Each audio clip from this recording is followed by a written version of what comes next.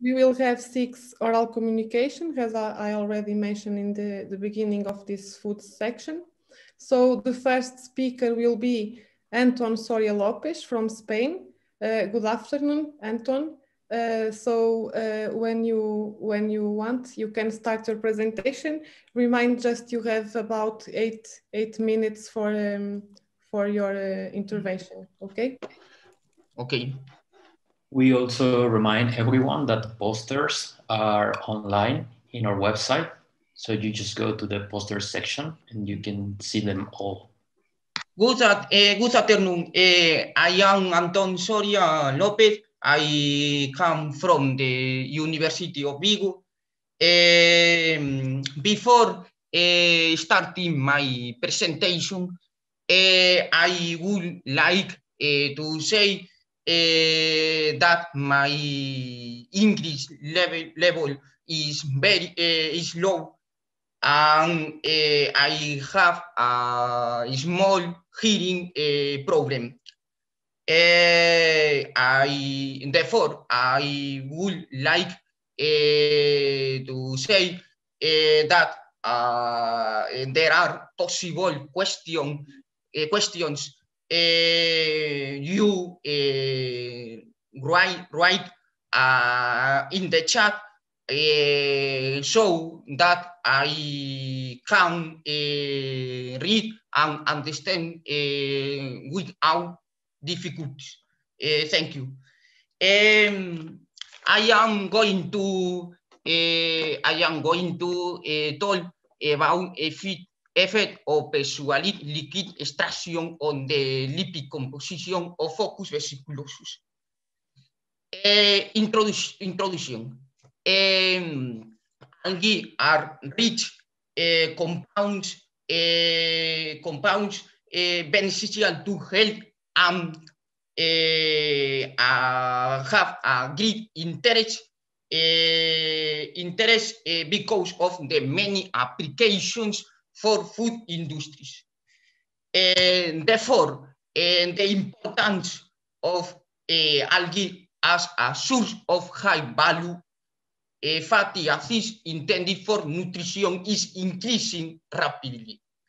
And methods uh, for the maximum extraction and best determination of insaturated fatties uh, in algae are needed.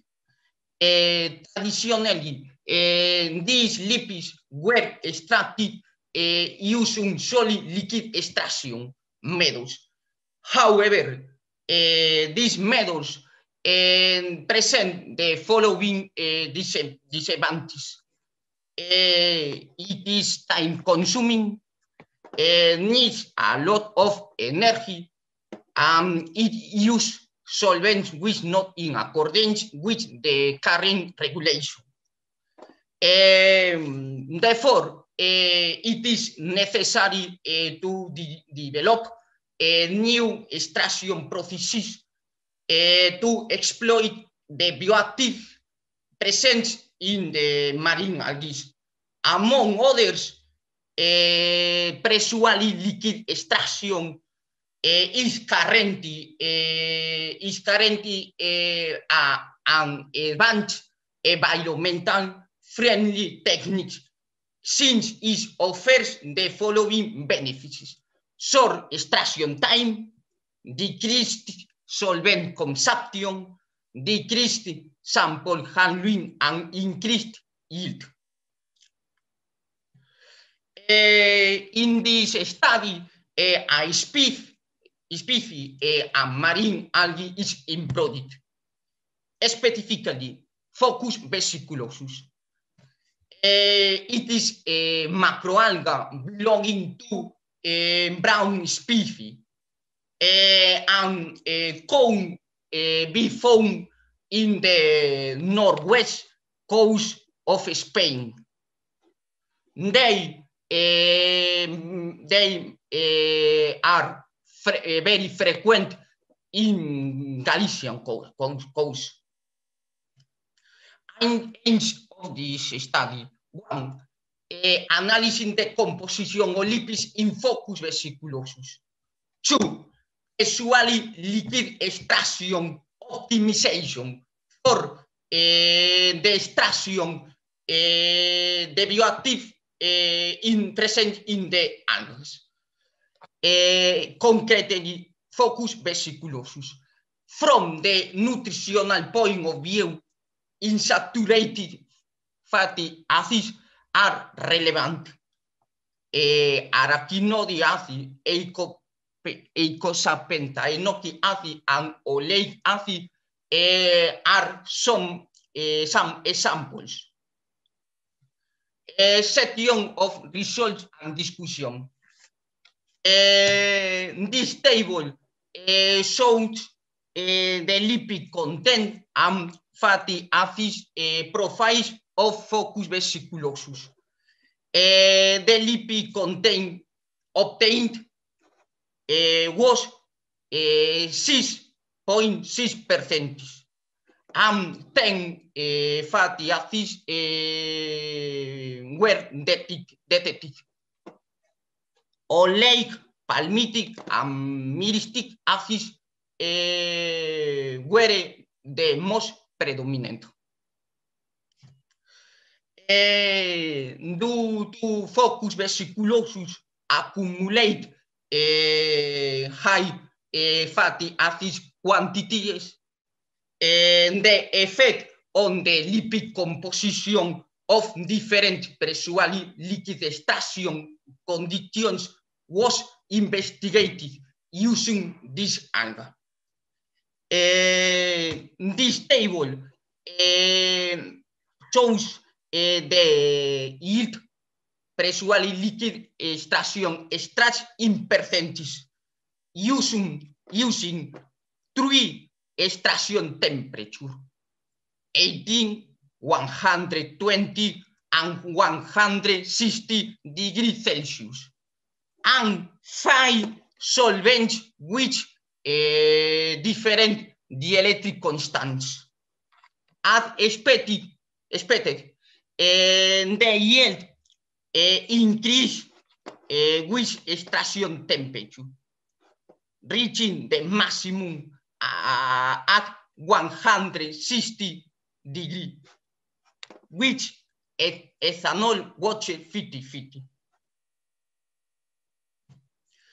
Uh, in the range of uh, temperature studied, uh, fatty acid profiles were found to be similar, showing the lipid composition is not affected by temperature. Therefore, the 120 degree Celsius uh, was uh, the optimum temperature. Uh, this table, um, sorry, from the results shows in the table, et, ethanol watcher 50-50 solvent is uh, is not uh, is not proper solvent uh, to extract uh, fatty acids from algae. Uh, fatty acids profile were different and fatty acids proportions depending of the solvent used. For example, ethyl acetate improve oleic ara angepa eh, to eh, com compare, compare to acetone and ethanol. The quantities almost the double. And the, the improved uh, compounds correspond to a long chain fatty acids.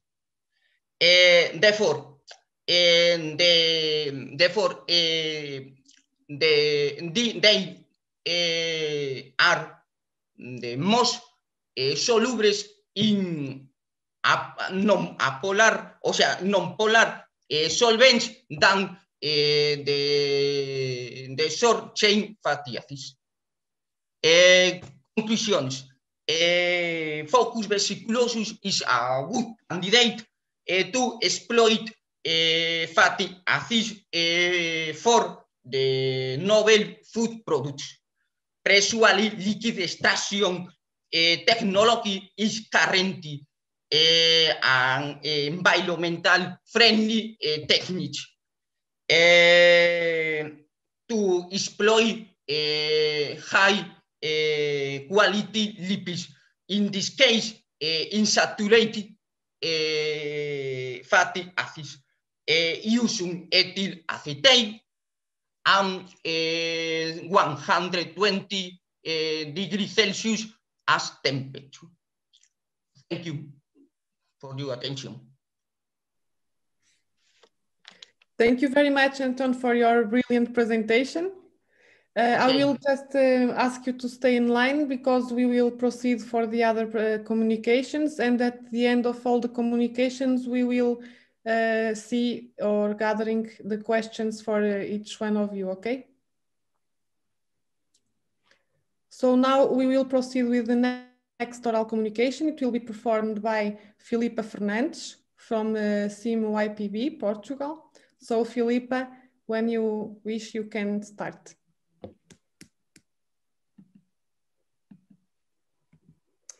Good afternoon. The work I have present today is tools to develop dairy ingredients, bioactive and preservative purpose. The cheese is a widely consumed, easily digestible and well-tolerated dairy product.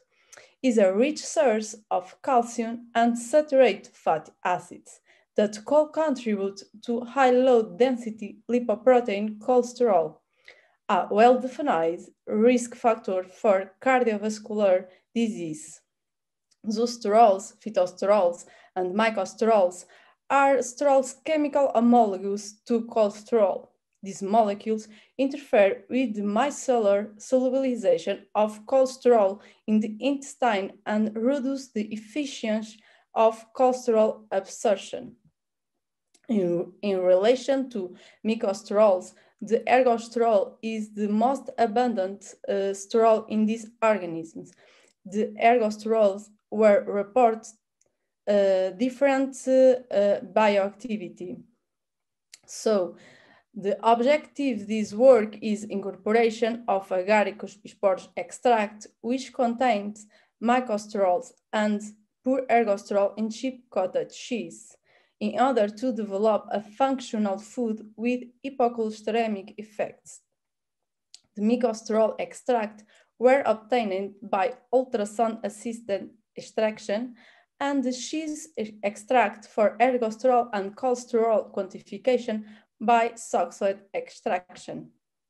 For incorporation, we incorporation 40 milligrams of agaricus bisporus extract per gram of cottage cheese and 3 milligram of pure ergosterol per gram of cottage cheese.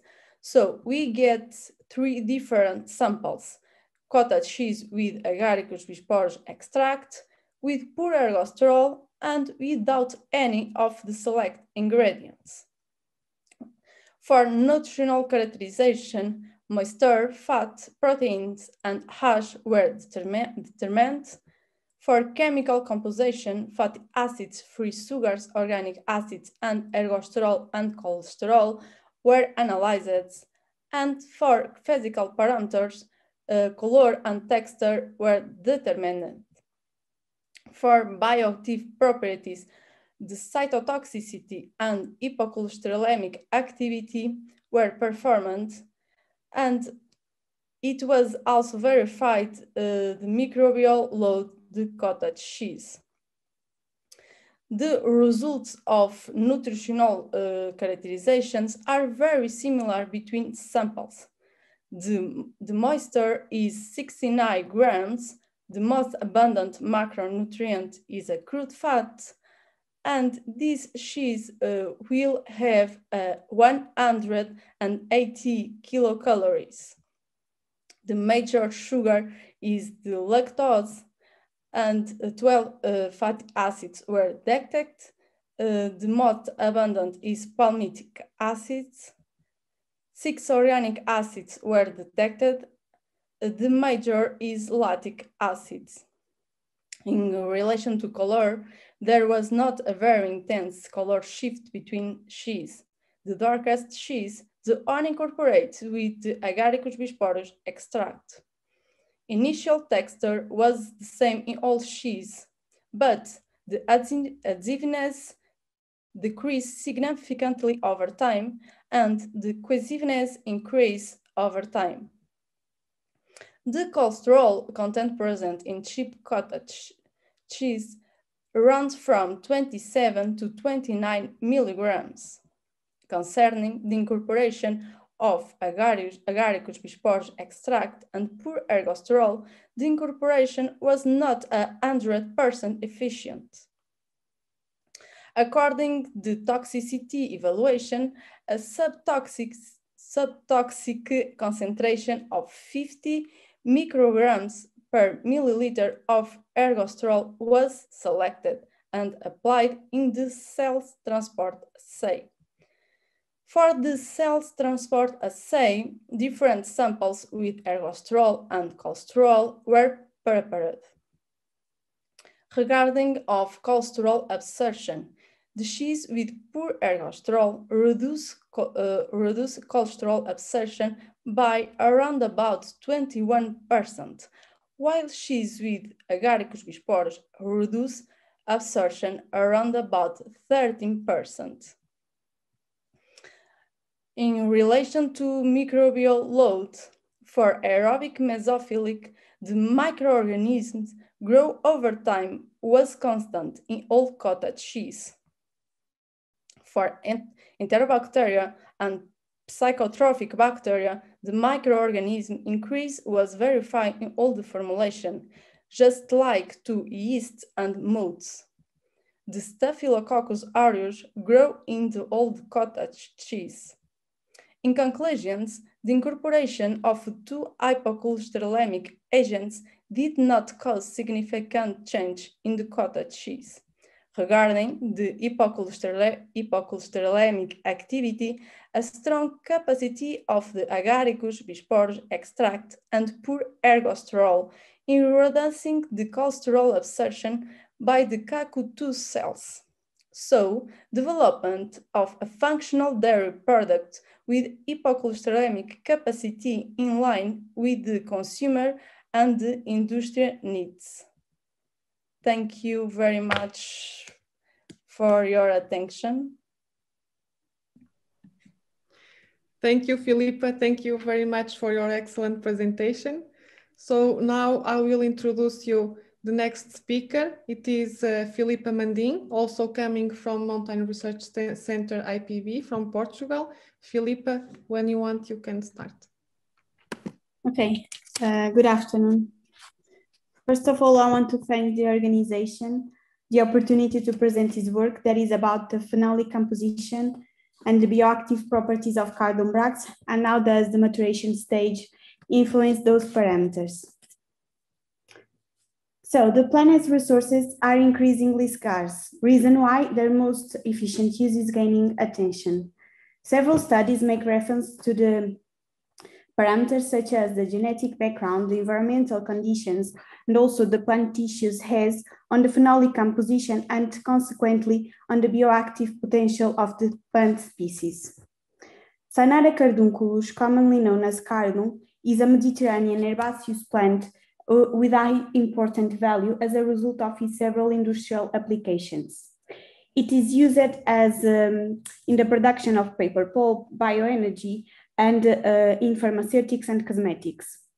Cardum has also long tradition, tradition being used uh, as a result of these therapeutic properties. So uh, this work has the objective to characterize the phenolic composition and the bioactive properties of cardum bracts collected at several uh, maturation stages and at the same time valorize their, um, this part. So, uh, bracts from the variable altilis were collected in Greece at several maturation stages, and all the samples were extracted by a solid liquid extraction with a hydroethanolic mixture. Samples were collected during the growing period of 2017 and 2018. According to the BBCH scale, the principal growing growth stages of the samples were between 5 and 8, 9.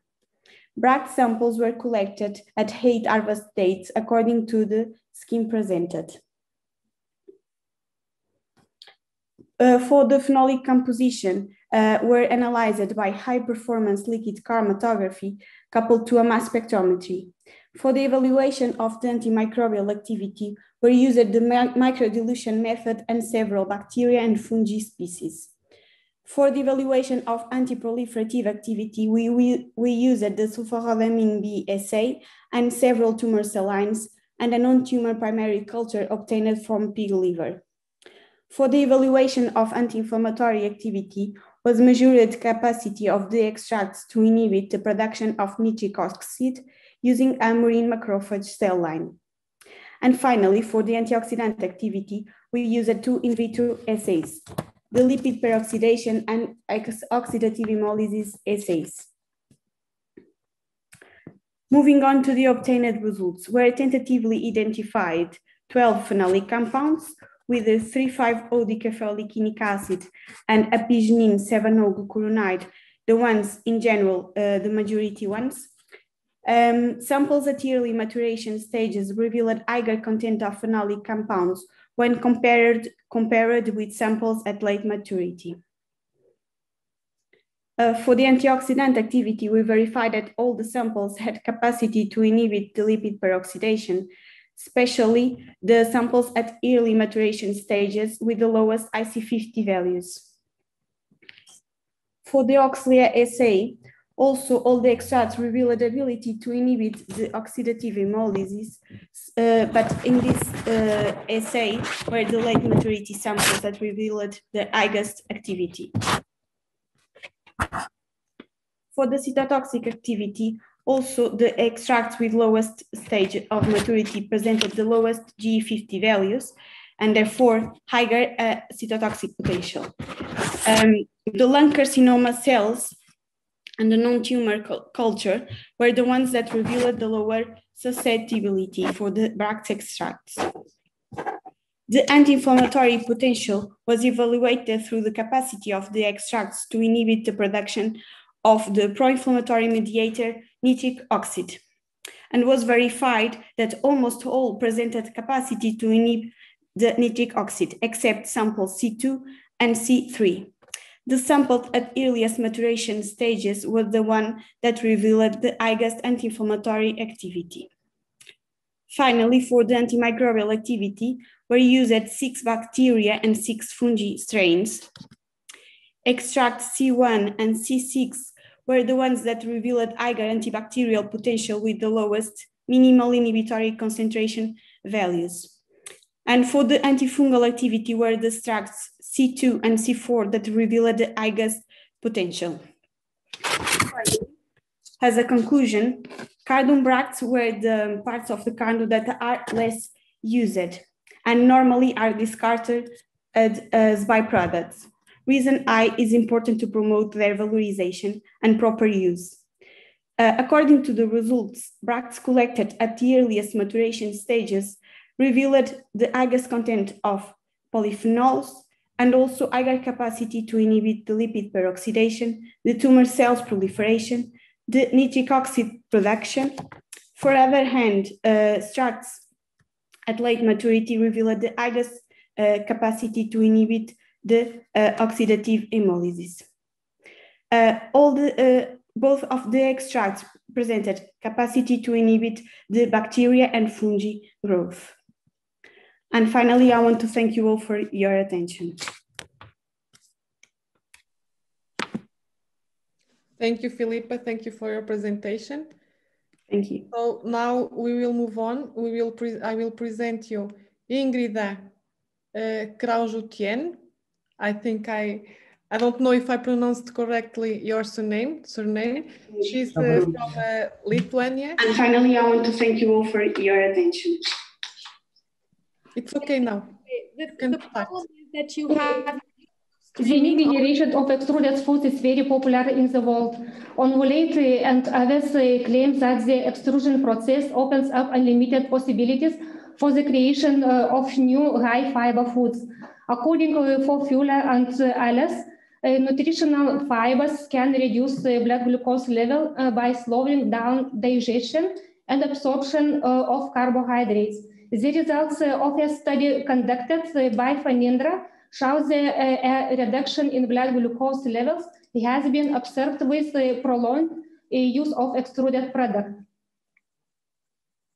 To promote healthy nutrition the Education Society, Food Technology Department of the Faculty of Technologies at Kaunas Kolegija, University of Applied Sciences, is developing a safe, innovative, high-value functional food production. The degrees has been a recently developed product made from extruded corn. For the production of um, chocolate uh, coated dragées, extruded corn uh, to flour dark chocolate containing 4 and 30% of sugar made from a mixture mm, of cocoa mass, cocoa butter, and sugar have been used. A, mm, a problem, a new mm, product uh, was uh, mm, produced by using the extruded grain, but the influence of this product on the level of glucose is in, in the capillary uh, blood is unknown. Um, the aim of the research to determine um, the influence of the dragées made from extruded product on the level of glucose in the capillary blood. Um, production, uh, the production of dragées uh, consistent of the following stages. Uh, first, uh, chocolate tempering, uh, pre-coating, gumming of the extruded corn, and polishing. Chocolate tempering uh, to temper dark chocolate um, sharp temperature reduction from uh, 45 uh, to uh, 28 uh, degrees of Celsius and increase of the operation temperature up to uh, 31, 32 um, degrees of Celsius been applied. Pre-coating was the second stage of the dragées product. Uh, chocolate was slowly uh, poured onto the extruded corn into the uh, coating machine, and the corn was covered with several layers of chocolate to make the uh, surface smooth and the core to be complete uh, covered. Polishing uh, is the third stage of the dragées production was polishing. Polishing of dragées was done twice to better gloss of the surface. A research me- methodology. Uh, 57 uh, volunteers uh, were investigated, uh, 23 non-diabetic, 34 diabetic, type 1 uh, diabetes participants uh, 5, uh, second type diabetes participants 29, age uh, 20, uh, 80, 18 to 84 years. The volunteers uh, had to fill in uh, anonymous uh, questions on their lifestyle. The tests were performed in the mornings. The participants were asked not to have breakfast, not to drink water in the morning, abstain from alcohol, and not to exercise intensely on the day before the test. The subject um, consumed um, 40 grams dragées. The, the glucose concentration in capillary blood has been measured with contour plus system. Composite of dragée, uh, uh, number one, extruded corn and bitter chocolate with uh, uh, 4% of sugar. Dragée uh, number two, um, extruded corn and dark chocolate with uh, 30% of sugar. Um, it has been observed that when the non-diabetic participants of the research were given to test dragees with um, bitter chocolate, after 15 minutes, uh, the glucose level in capillary blood increased uh, up to um, 0.76 millimoles uh, per liter, followed by a gradual mm, downward curve after two hours of the uh, consumption of the product, the capillary blood glucose concentration uh, was the same as before eating. In participants with uh, first type diabetes, the maximum change in capillary blood glucose was 3 millimoles per liter after 30 minutes. After the of, spike of sugar level, the capillary blood glucose level gradually decreased and uh, two hours after use of the dragees, no change in glucose level were observed. In patients with second type diabetes, um, the maximum change in capillary blood glucose uh, was um, 2.2 millimoles per liter after 15 minutes. And after uh, 30 minutes, um, the blood glucose level started to decrease. And after uh, two hours, it was Eh, 0.7 millimoles eh, per liter lower eh, than before use of products.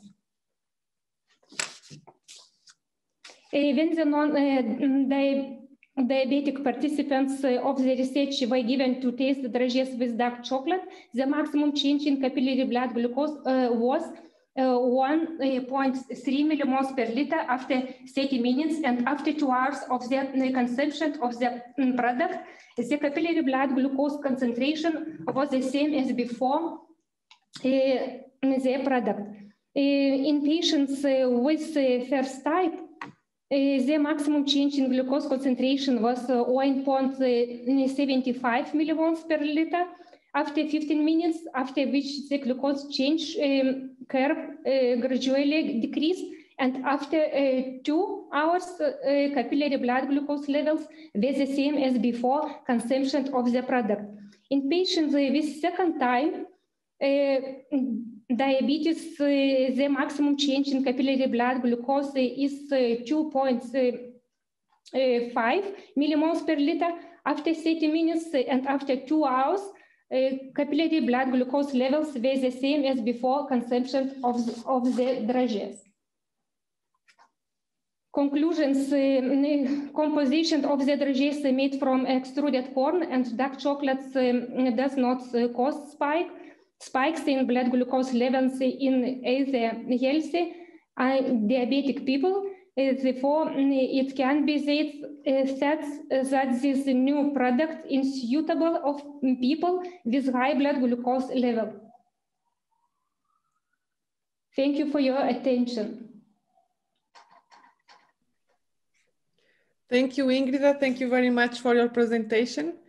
Uh, now I will present you the next speaker. It will be Jonathan Massao Ueda that uh, will speak from uh, Brazil. Massao. Olá. Want you can start your presentation. Vídeo. Compartilhar a tela. Pronto. Okay. So, good afternoon, everyone. Uh, my name is Jonathan Massao Ueda. Thank you, Sandrina, for introduction. And thank you for all the scientific commission for giving me the opportunity to present this work. So my present work is natural food preservatives, application of rosemary, basil, and sage in yogurts as a viable alternative to artificial ones using sustainable, low cost, and efficient processes. So foods are susceptible to a lot of, a lot of ways of degradation, uh, which can be by the oxygen present in the atmosphere or microbiological factors, physical and others. And one alternative to preserve food is the use of antioxidants or antimicrobials. In the natural preservatives, uh, for example, compounds produced by plants by the secondary metabolism uh, is considered uh, compounds to, to defense against microorganisms, oxidizing agents, and helping the pollination process. So in this work, we used three, three plants, rosemary, basil, and sage, and uh, in order to evaluate the preservative capacity of each one. In the first step, we use it, we used a, a fractional factorial design to the structure optimization. Mm-hmm. And the factors that were tested were time, solvent, and ultrasonic power. And then after the optimization, we made the phenolic, profile and the quantification. So for the bioactive properties, we made the anti antioxidant activity using the oxidant method. And then for, for the antibacterial and fungal activity, we use the microdilution method. For the cytotoxicity, we used the sulforhodamine B method. And for the incorporation process, first we made the yogurt and added the extracts into the yogurt maker for about eight hours. And then we, when the yogurts were made, we, we added the fruit pulp. And then we made the following analysis. So first of all, the physical-chemical analysis, we evaluated three parameters, color, pH, and water activity. For our nutritional profile, we made the approximate composition and the energetic value according to the AOAC, and then the organic acids and the soluble sugars too. And lastly, we made the microbial load, uh, taking account into microorganisms that are common in yogurts. So for the results, on the structure optimization, uh, in the chart, you can see that the solvent was the factor that has greater influence in the extraction of uh, rosmarinic acid, followed by time and ultrasonic power. And then uh, we tested uh, some ranges of time of extraction and temperature. And after the, the optimization, we got the time of one minute the temperature of 75 degrees Celsius and the ultrasonic power of 375 watts. After that conditions were established, we made the, the instructions for the incorporation. So for the bioactive properties, uh, for the antioxidant activity, the rosemary presented the best results, followed by sage and finally basil. For antimicrobial activity, uh, rosemary and sage showed the best results, followed by basil. And antifungal activity, rosemary showed the best results, followed by sage and then basil. For cytotoxicity, none of the three strikes tested uh, uh, presented uh, toxicity uh, over the, the limit of concentration tested. So for the physical-chemical analysis, uh, overall, in general, the storage time had much more great, much more influence than the preservative, preservative types. And for nutritional profile, the same thing occurred, that the storage time had much more influence. So for the organic acids, we saw uh, we see a increase in the lactic acid over the storage time, and that's it, that is justified by the presence of lactobacteria over the time in the yogurts. And for the soluble sugars, we can see uh, justified for the lactic bacteria too, the decrease of the lactose being consumed over the time. And lastly, for the microbial load, for aerobic, aerobic mesophilic, there was a slightly decrease over the time, but not significant, uh, uh, but not statistically significant. And for lactobacteria, we saw a slight increase over the time. For coliforms and molds and yeasts, there was no growth over the 14 days. So in conclusion, for the structure optimization, the most influent parameter was the solvent and the time after the, the ultrasonic power. For the bioactive properties, uh, rosemary in general presented the best results, followed by sage and then basil. And none of the three, the three extracts showed uh, hepatotoxicity. For the physical-chemical analysis and nutritional profile, we saw that the storage time had much more influence than the preservative type. And a good uh, positive point on, in this work is that the three extracts, three plant extracts, uh, showed similar behavior to potassium sorbate. That, that is a, a synthetic additive used in yogurts. And finally, for the for the yogurts, a study fundamental about this food matrix. is the presence of the lactobacteria in the yogurts. And two things that must be considered when you search for a new preservative in yogurts, that that is uh, the preservative must preserve the food, and then he must ensure that they will have lactobacteria over the time. And those two things were confirmed on this work, uh, uh, seeing the lactic acid on the organic acids, the lactose on the soluble, soluble sugars profile, and the microbial load psychrotrophic lactic acid bacteria. So thank you for all the members that helped on this work and all the organi organizations that helped with the financial support. Thank you, Jonathan. Thank you for your excellent presentation. So let's move for our last oral communication that it will be performed by Ricardo Ferreira from Portugal also. So Ricardo, when you want, you can start your presentation. Uh, hello, can any can anybody hear me? Yes. Yeah, yeah. Okay, thanks. Okay. Yeah. Uh, okay. Thanks. Uh, hello. Good afternoon. My name is Ricardo, and I'm going to be presenting to you the work that I've been developing during the first part of my PhD. That is the, that is entitled "The Effect of High Pressure Processing and Thermal Pasteurization on the Microbial and Physical-Chemical Properties of Three Varieties of Opuntia ficus indica." Uh, Opuntia ficus indica, or prickly pear in English, is considered an important food resource, resource through the Mediterranean basin, mainly in Italy and North Africa, and the fruit itself is considered to be rich in nutrients and bioactive compounds, as you can see from the table on the left, it, that if, for example, it possesses 3.6% of total dietary fiber, as well as some, uh, some minerals, for example, like magnesium, phosphorus, and potassium. Prickly pear is, as, is uh, as well known for its health benefits that include, for example, its antioxidant capacity. Uh, however, despite this richness in nutrients and wealth and um, health benefits, almost no commercial available product, products of prickly pear are available in most of Europe.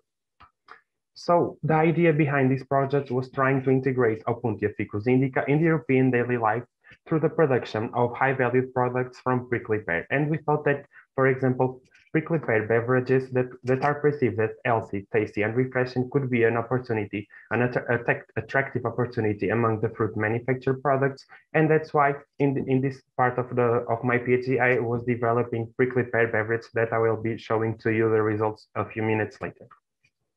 The, the fruit itself, prickly pear, possesses a pH superior to 4.5. So the, the nectar produced from prickly pear is considerable, considerable a perish, perishable drink. And because of that, it needs further processing. And the idea behind this project was trying to compare two different types of, of, pasteurization, the thermal pasteurization and the high pressure pasteurization in order to evaluate its effects on the, shelf life, the value of the product and the organoleptic effect. So we use for thermal pasteurization 71 degrees and 30 seconds. That is the time and temperature used in, uh, for industrial purposes for, for the production of um, high quality uh, premium juices. And we use for high pressure pasteurization, 500 megapascal for 10 minutes.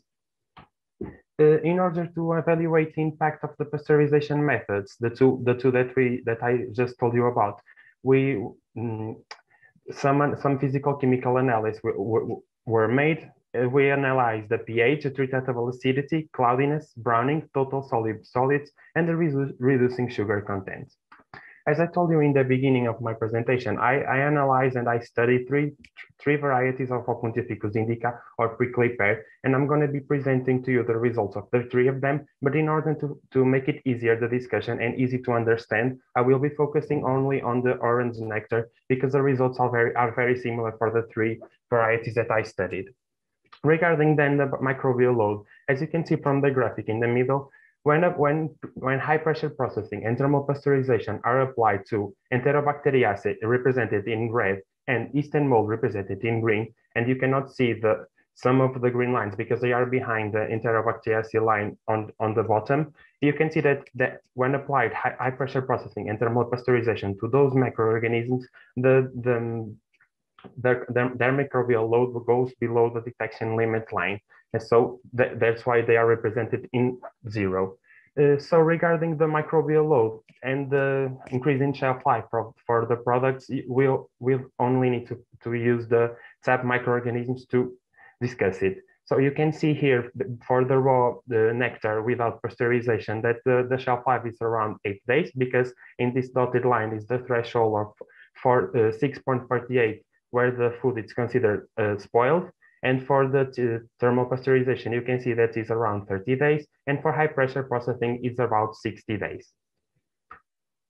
Uh, regarding the physical chemical properties, you can see that for, for, for the orange nectar, there is a small decrease in pH during the duration of experience. And regarding the titratable acidity, you can see that for the orange nectar, there's, there is a, uh, an increase in the titratable acidity due, for example, to the fermentation process that, that is occurring. And you can say that the fermentation is occurring because you, you can see that the microbial, the microbial load is increasing. So the microorganisms are producing some organic um, acids that are being, that can influence the titratable acidity of my nectars.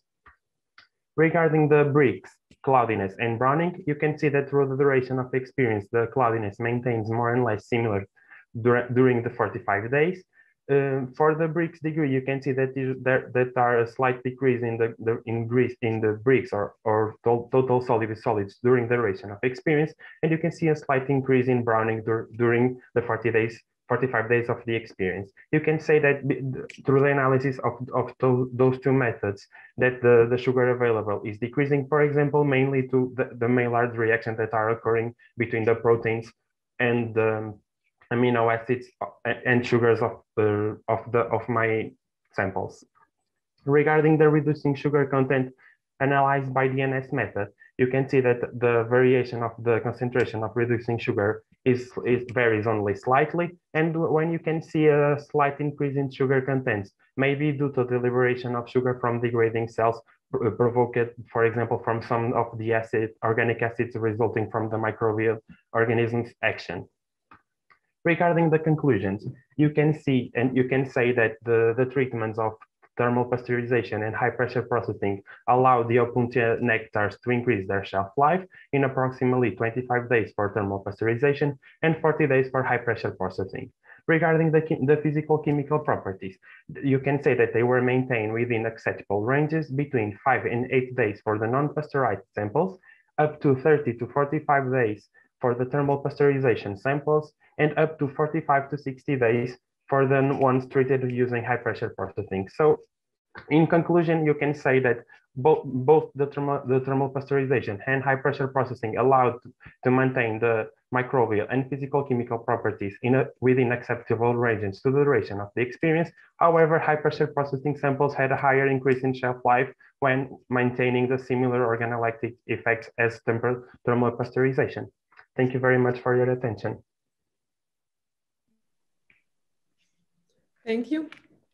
Thank you, Ricardo, for your so elucidative uh, and uh, clarifying presentation. So now we will have time, just a few minutes for uh, some questions. We have here already some questions for uh, Filipa, for Filipa Mandim. Teresa Brás is asking if you correlate the biological activities that you obtained with the phenolic compounds you identified in the, the extract. Uh, so the correlation is being made. Um, we have primarily, primarily results that is in, indicate a, best, a better correlation, especially uh, with flavonoids, but uh, at the moment we don't have the final results. Okay, we have another questions for you that is from uh, Fatima Duarte. Fatima Duarte is asking, uh, what was the flowering stage of the beginning of the collection time, with or without flowers?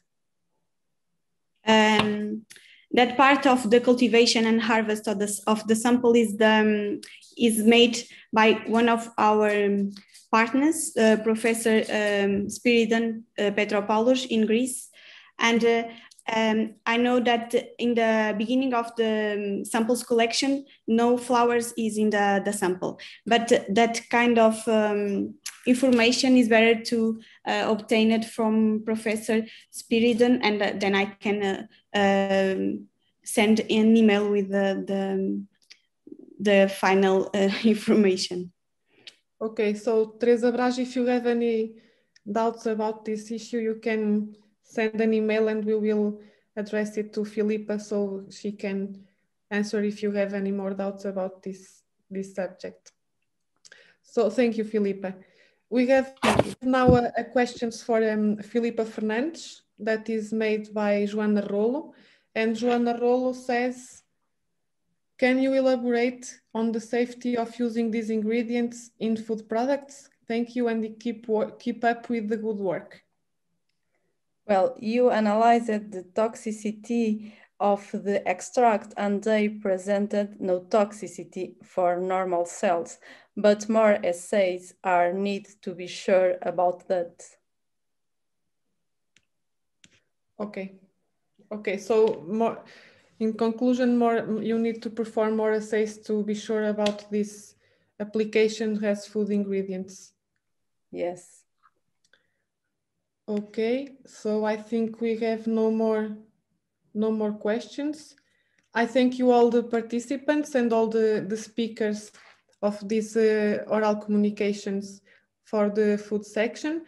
Now we will have um, a mini break and then we'll, we, we will start with a pitch section that will be moderated by my colleague, Dr. Um, Marcio Carocho.